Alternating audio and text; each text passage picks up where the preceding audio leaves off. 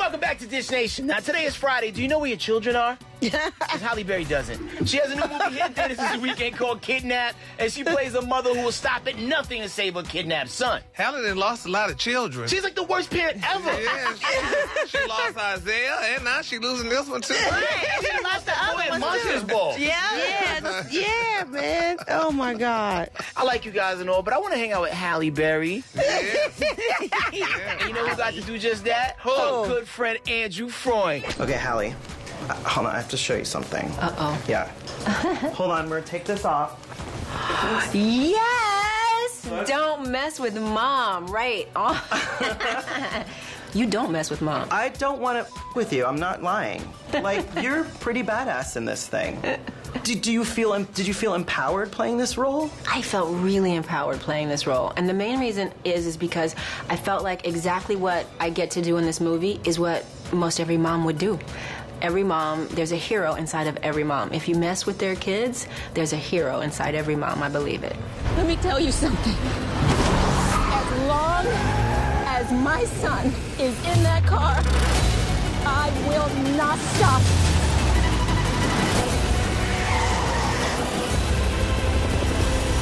You took the wrong kid.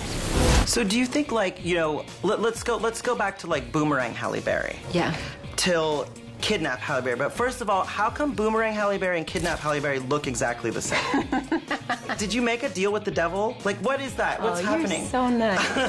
Thank you. But but I'm just curious, like then till now, how do you think has the business changed in terms of are we seeing more women being empowered and are we embracing that and why weren't we doing that before? I think we are. I mean, you look at people like, first of all, this summer, look at this summer Wonder Woman, Atomic Blonde, Girls Trip. These things have opened, and not everybody thought they would. So I do think women are being empowered, and there's no better way to empower women than going and supporting these kinds of movies. If women, if we want to see more of it, girls, we gotta go. Um, but I think you got the Shonda Rhimes. You know, you have more, you have Kathryn Bigelow. Like, you have more women that are actually working behind the scenes now in big, huge ways.